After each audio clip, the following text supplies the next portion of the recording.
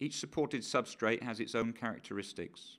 The substrate preset contains ICC color profiles and information about other printing characteristics, such as curing temperature not directly related to color. If you use a substrate for which the printer has no specific preset installed, you have various options to obtain one. This video shows you how to search for and install new substrate presets in the HP Latex 110 printer.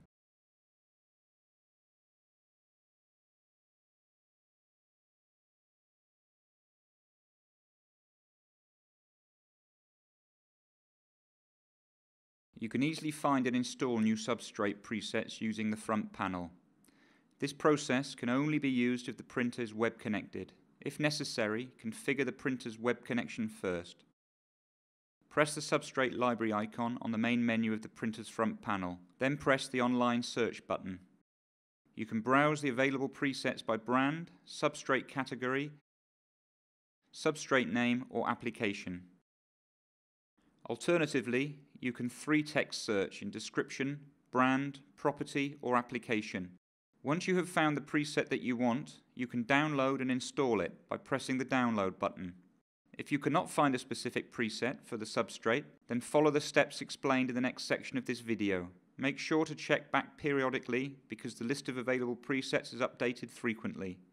If your printer is not web connected, then you can search for and install substrate presets from a computer. First, you must look for the substrate preset package file. You can find new substrate presets and download them from the HP Media Locator webpage. On your computer, open the web browser of your choice. Type www.hp.com forward slash go forward slash media solutions locator into the browser's address bar and then press enter on your keyboard.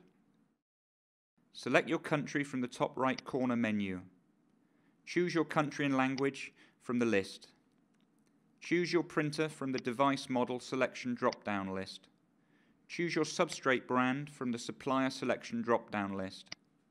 Choose your substrate type from the substrate type selection drop-down list.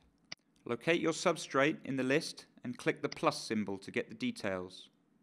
Click the view link. Locate your printer in the list and click the link to download the substrate preset package. Depending on your web browser, a prompt may open that asks you what you want to do with the file. If you click Save, a file with extension OMS will be downloaded to a folder you specify on your computer.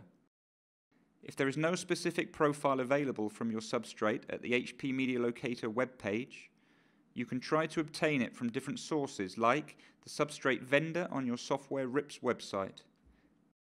If you can't find a specific profile for your substrate, you can use one of the generic substrate profiles already installed on your printer and available from most software RIPs. Or you can generate a specific substrate profile using your printer by following a quick and simple process. You can find the details about this process in the user's guide and in other available videos.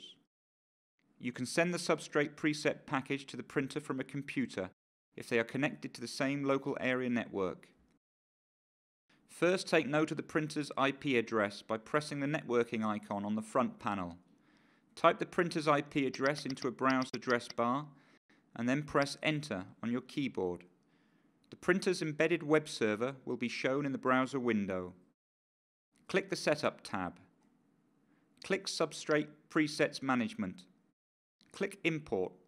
This tab is normally selected by default. Use the Browser button to open a file explorer. Select the substrate preset package file. It is a file with the extension OMS. Click Open. Click Update. Follow the instructions from the embedded web server.